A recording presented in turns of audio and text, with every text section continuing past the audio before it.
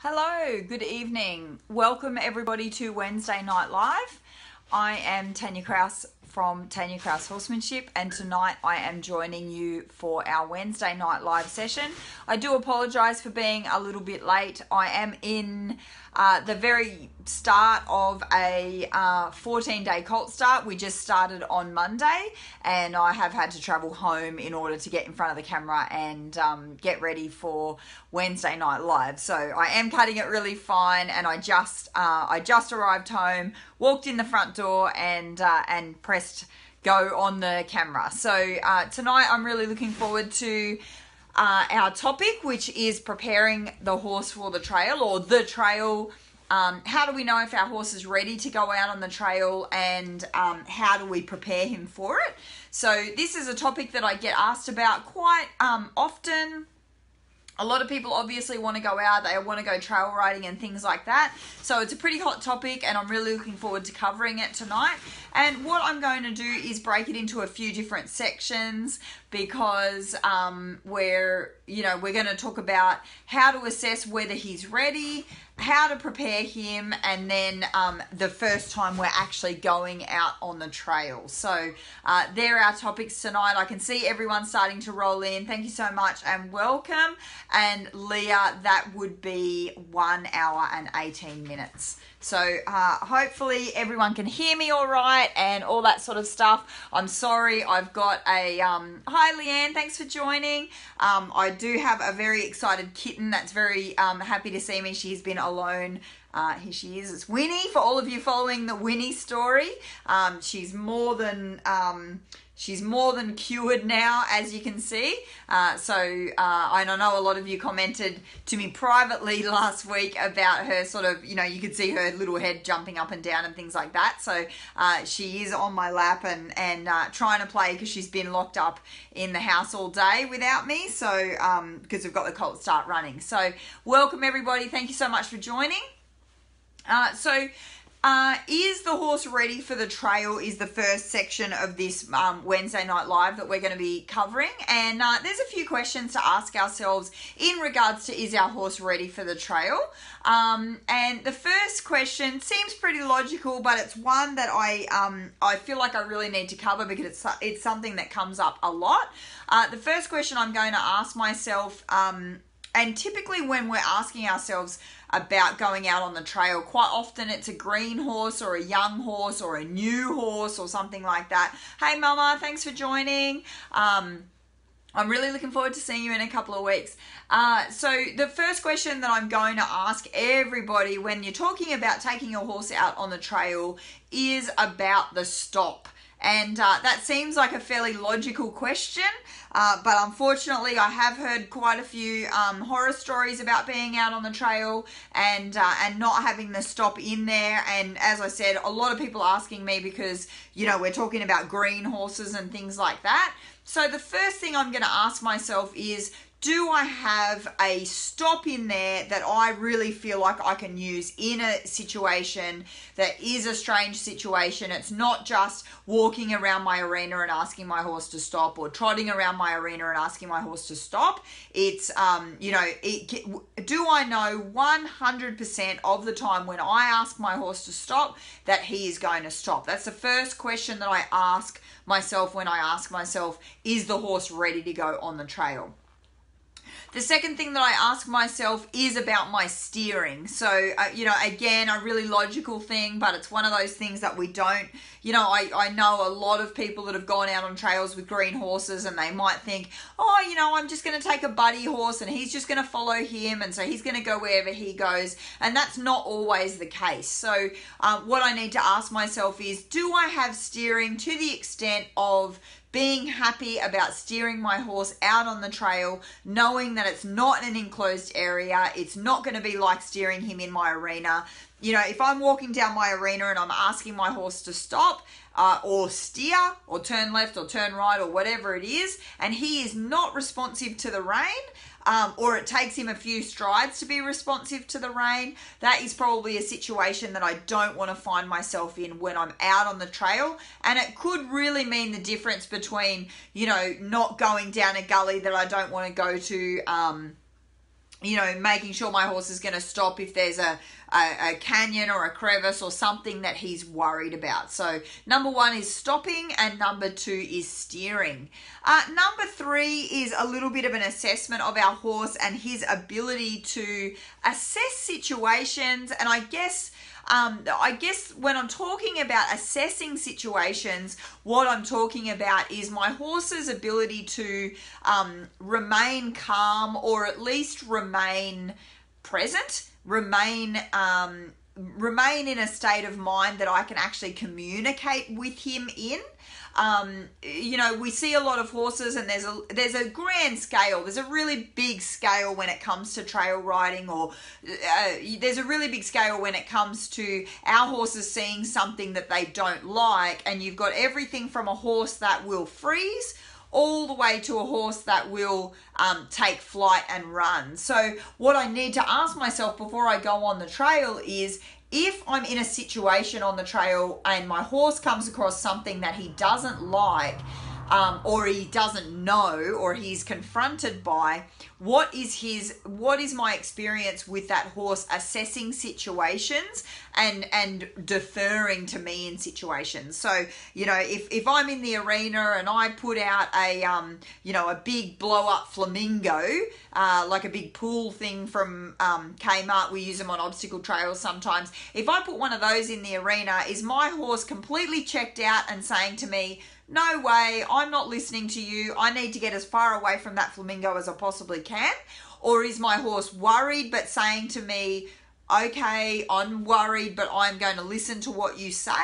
Or is my horse, you know, completely calm and confident and saying to me, you know what, I'm okay, uh, you know, I can cope with this situation. So, my horse's ability to assess situations and stay connected to me and stay looking to me for um, answers, I guess, looking to me for direction, that would be a major factor in determining whether my horse was ready to go out on the trail. Because, as much as we can, and I'll talk about it later in regards to setting up the first trail as a successful um, exercise, as much as we um, want to try and set up the trail as a successful exercise as much as we possibly can, if we're going into a public area, there's really nothing we can do about um, setting it up to be absolutely perfect for our horses if we're going public. So, you know, um, and we're going to talk about it later, but, you know, we recently went to the beach and we had, you know, there were kites. There happened to be, uh, there happened to be, the council was working on the beach, so there were semi trailers coming in and off the beach there was a massive excavator working on the beach, all things that we could not have projected if we had even tried to. So these are the kind of things that we need to think to in our mind. If my horse came across an excavator and he was worried about that excavator, would he defer to me and say, you know what, I'm not really happy about this excavator, but I'm going to defer to you and I'm going to listen to you and at least be controllable to the extent that I will allow you to help me through the situation? Or is my horse in the habit of checking out and saying, you know what, there's an excavator, I'm gone.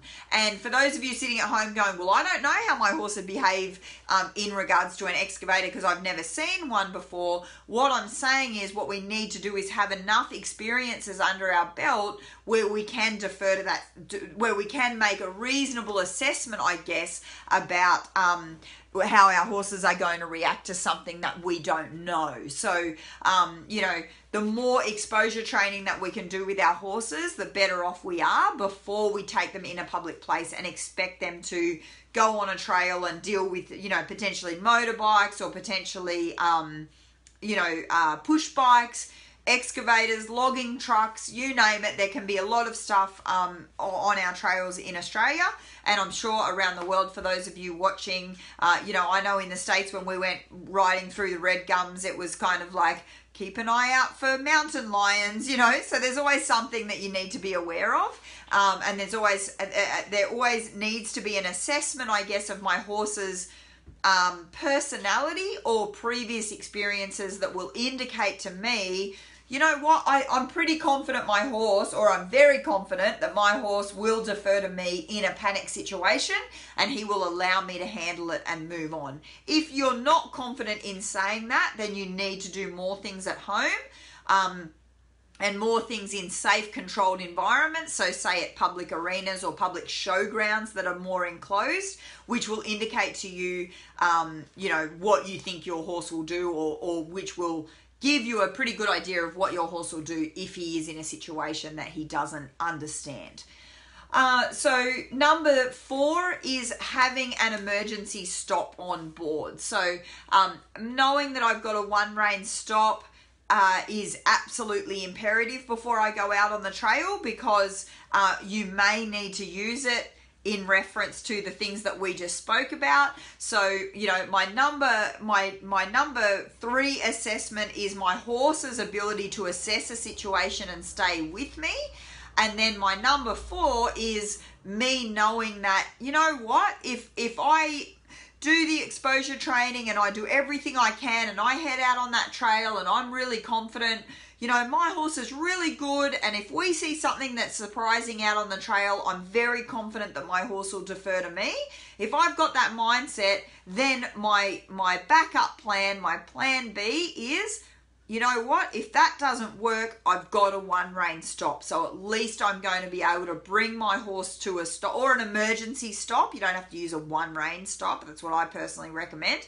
Um, but if you've got a different kind of an emergency stop, then go for it. But what I need to know is that 1000% I'm going to have some way to bring my horse to a stop so I can dismount, so I can handle the situation and I can keep myself safe and I can keep the horse safe. So, number four is knowing that I've got an emergency stop if all the other effort that I've put in doesn't work. Number five is is my ability to say to my myself that my horse has a good level head. And what I mean by that is, you know, you might have a horse that has done exposure training and you know does defer to you in regards to situations that they're worried about. Um, but if you went if you went and set up 20 obstacles in your arena or 10 obstacles in your arena and you thought to yourself I know that my horse is going to defer to me about these obstacles, but I also know my horse is going to be crazy about these obstacles or they're going to be really spooked about these obstacles or I know they're going to be really worried about these obstacles, then your horse isn't ready to go out.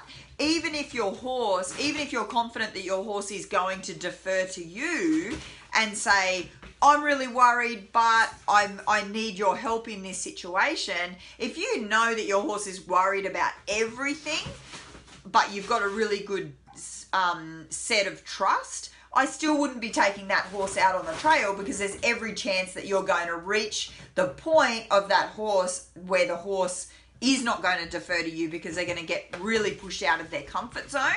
And so um, I want to know that I've got a horse with a good level head on him. And I want to know that if I set up 20 obstacles in my arena and, you know, I want to think to myself, I'm pretty sure my horse is going to be confident with 15 of these or 16 of these or 17 with these. If you're thinking to yourself, oh, if I put 20 scary obstacles in my arena and my horse is going to spook at all 20 of them, he's not ready to go out uh, he's not ready to go out on a trail that would be my assessment so i want to have a horse that's got a reasonable level head a reasonable um, set of experience under his belt where he has been exposed to things and um, i know that it's unlikely for him to react rather than it's likely for him to react. So um, that's that's something that I need to do to keep me and him safe.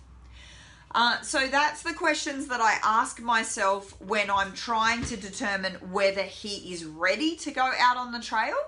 Um, and then what I want to start talking about, you know, with myself and with any friends that are going to come out with me is the steps that I can do to prepare my horse to go out on the trail. So, those five things were a series of questions that I ask myself to sort of determine whether I think he's ready or whether he needs a bit more work or you know, yep, he's he's going to be awesome out on the trail. And now I need to say to myself, well, what do I need to do to prepare my horse to go out on the trail? So when I do finally take him out uh, on the trail or in public, that he's going to be 100% ready for that, or as ready for that as I can possibly make him.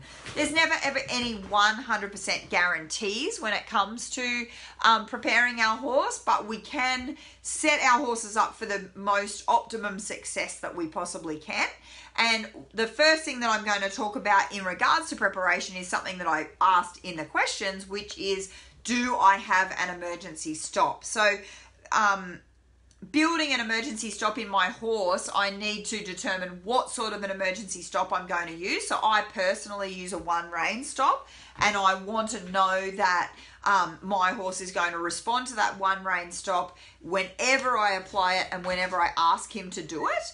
Uh, I, I need to know that the horse is going to respond to the one rein stop even when he's in a stressful situation because that's when I'm going to apply it um, when he's in a stressful situation, typically out on the trail. You know, maybe a motorbike will come along or something like that.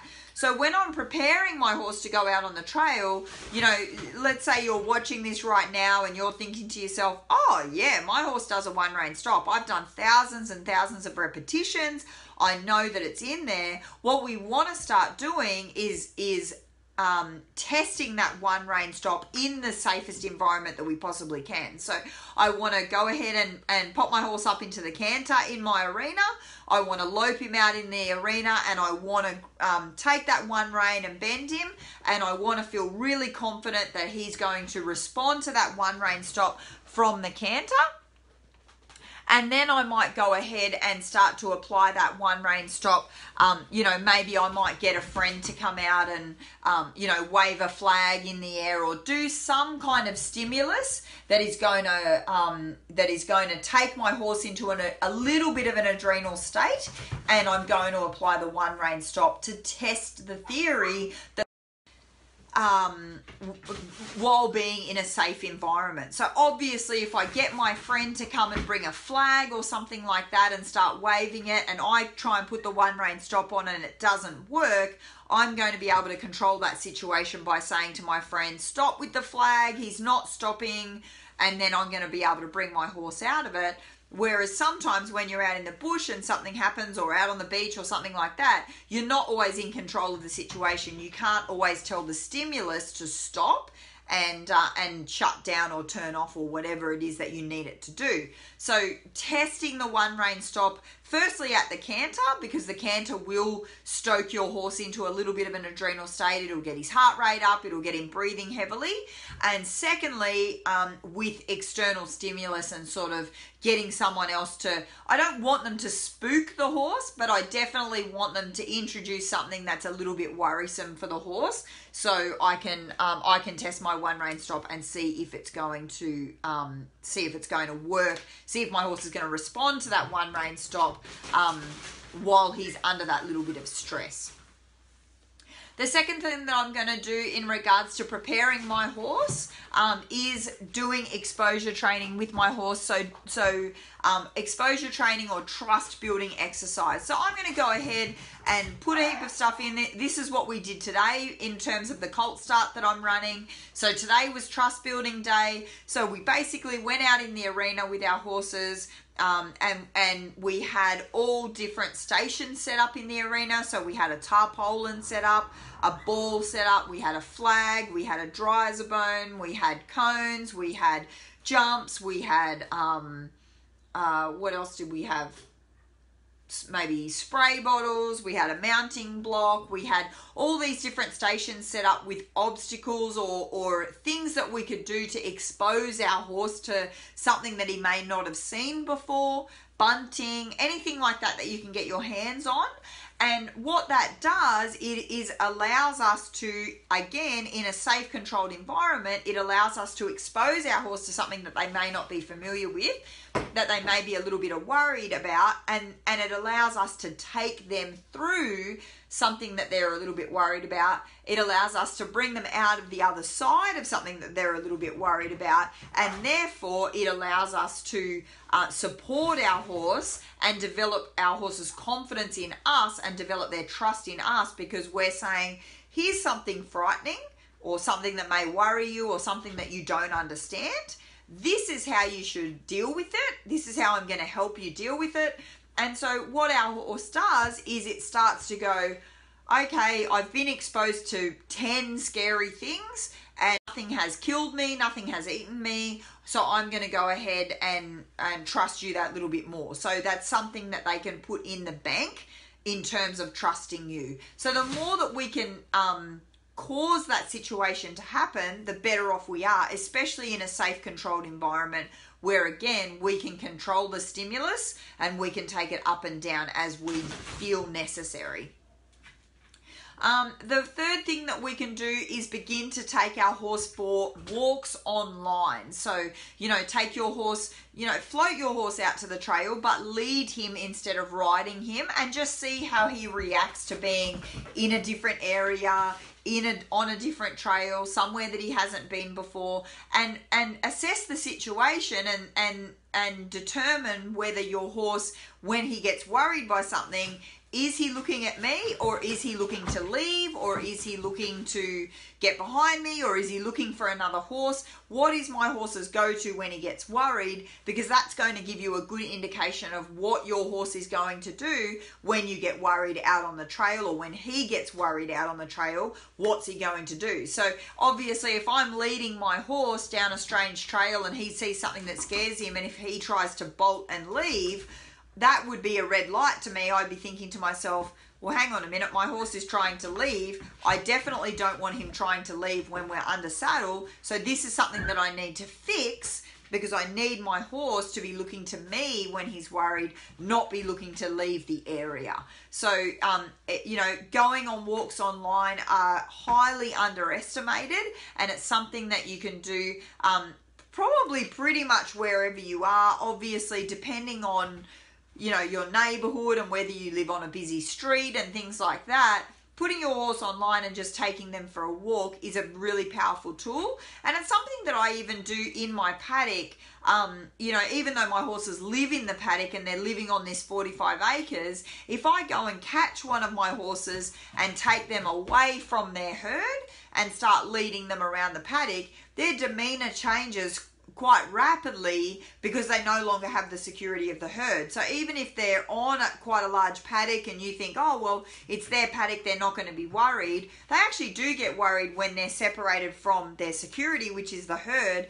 and they're left to be alone with you. So that's a way that you can.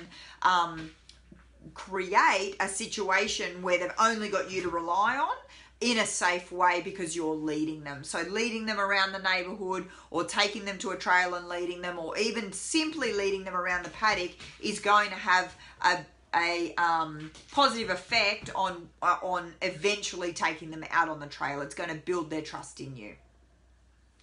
Um, you know, taking him to different showgrounds or taking him to places that you know there's going to be stimulus, so perhaps a local show or a local competition or something like that, uh, that also is going to give you a really good indication of how your horse is going to respond to external stimulus, whether he's going to refer to you or whether he is going to try and get away and just completely ignore you. And if that is the situation, then you need to do more at home to get the horse looking to you for help instead of looking to leave the situation. And that I feel is going to keep you a little bit safer in regards to preparing your horse to go out on the trail.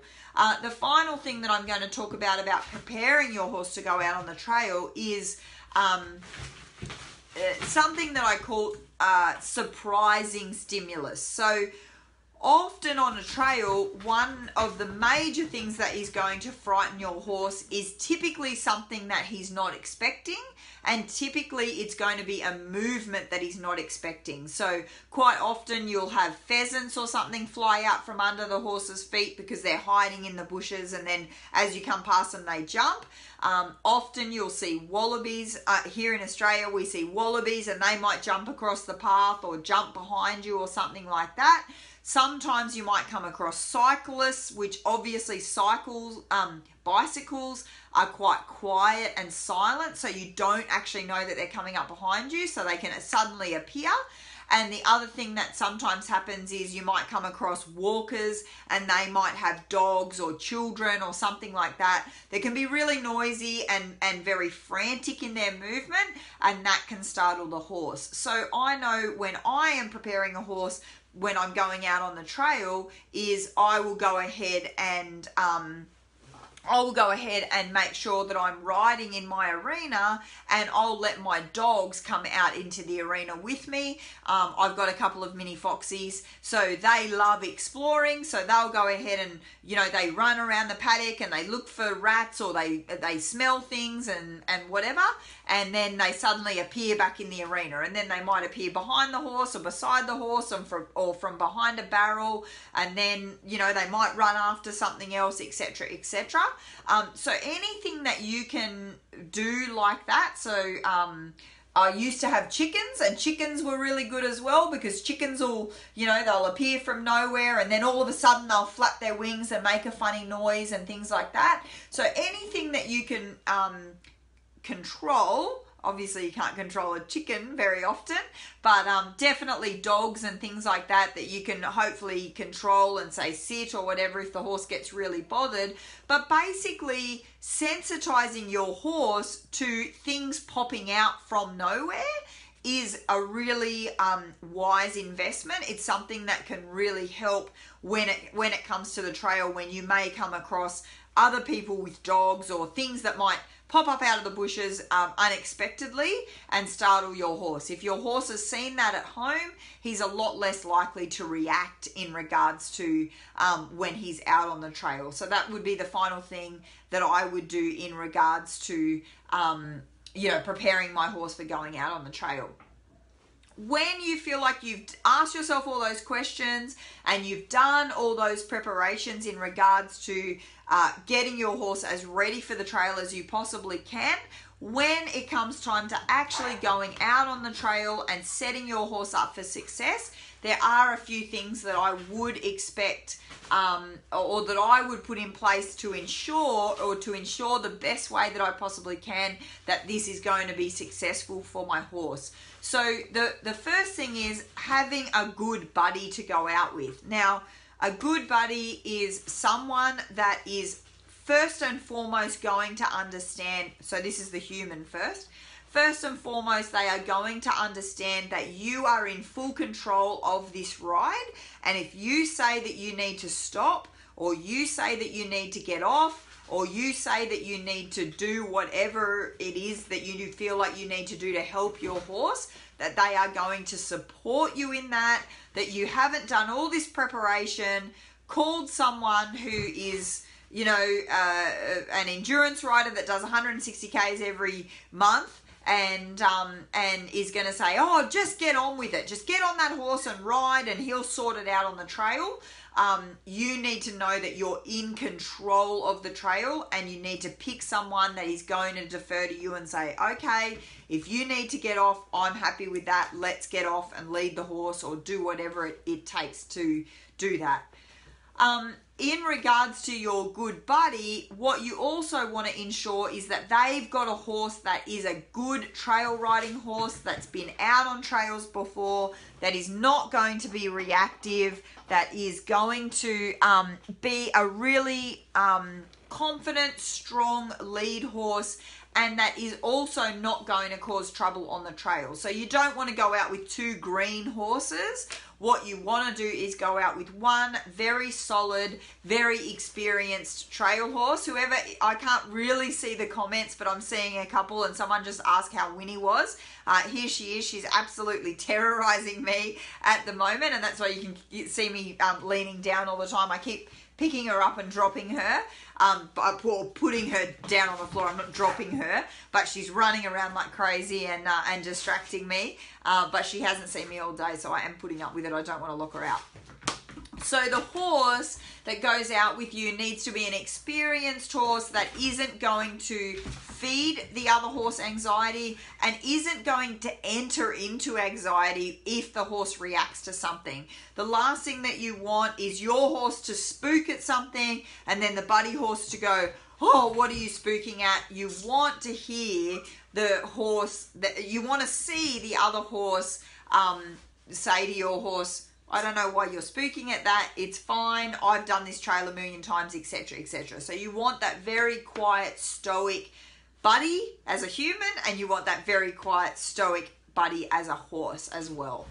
Um, the second thing that you want to do is make it a short course. The longer that you're out there, the longer that you're out on that trail, um, potentially the um, the closer you are to having a situation that you can't control or to exposing your horse to something that he may not understand or may not cope with very well. So the first few trails should be a nice, quiet, short trail. Just walk around, you know, maybe 20 minutes, maybe half an hour, so you can get back home and or back to the trailer or whatever it is that you're doing, and the horse can feel like, oh wow, I did that trail, nothing happened to me I'm I'm fine, we're all good. The last thing that you want to do is take your horse on a 6-hour trail and have him for 5 hours thinking to himself, is this it? Are we ever going home again? I don't understand what we're doing or where we are, etc., etc. So nice short courses to start with and um setting your horse up for success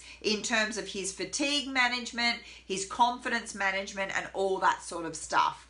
Um, the final thing that I would recommend that you do is set yourself up for success by picking a good day to go out on a trail. So not if you're going to go to a public area, don't go on the weekends when there's going to be lots of users out on that trail, push bikes and motorbikes and other horse riders and things like that go ahead and set yourself time on a weekday when it's going to be as quiet as possible. Make sure it's not school holidays for those of you who aren't aware of school holidays like me with you know who, who don't have kids at home that are um, young and, and have school holidays and things like that. The worst thing is when you you know you pack up and you go to the beach on a Monday thinking that it's going to be fine and it ends up being a pupil free day or it ends up being school holidays or something like that. And uh, you know there's there's a hundred people down at the beach and you think well this isn't the best situation for me and my horse. So um, picking a really good day and um, you know picking a really good time of day as well uh, where there's there's going to be low traffic in the area and picking out a trail that's probably not a really publicly used trail.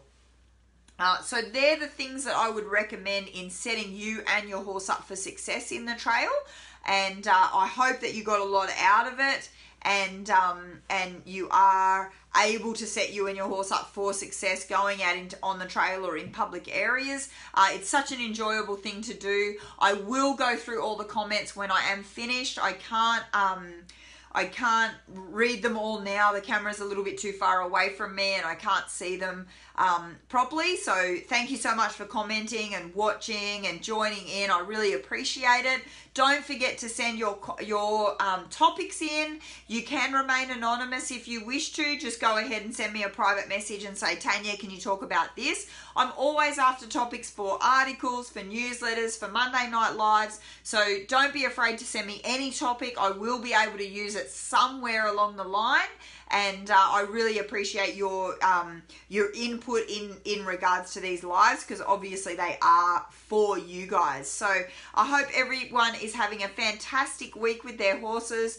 We're just at the start of a 14 day colt start, so it's really, really exciting. We're just getting all settled in, and uh, and we've got then um, an extreme trail three day course on an extreme trail which is on a private property um, in the grafton area. And then after that in august we've got the big 10 day clinic happening in august which is just a massive experience. So those of you who are interested go ahead and send a message in regards to the 10 day we've already got um, registrations coming in so it's very exciting um, it's going to be a real corker of a clinic i can um, I'm, I'm starting to plan the curriculum now and I'm really looking forward to it. And I hope you're all having a fantastic week with your horses. Thank you so much for joining, and I look forward to hearing from you soon. Good night.